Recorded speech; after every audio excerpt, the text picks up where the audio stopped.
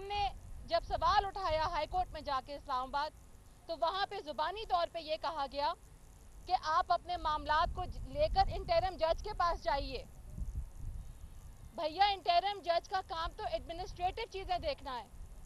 اسلام آباد high court کا جو لیگل مینڈیٹ موجود ہے، جس میں ریٹ پٹیشن لائے کرتی ہے، وہ کیا انٹرم جج کی موجودگی میں ختم ہو گیا؟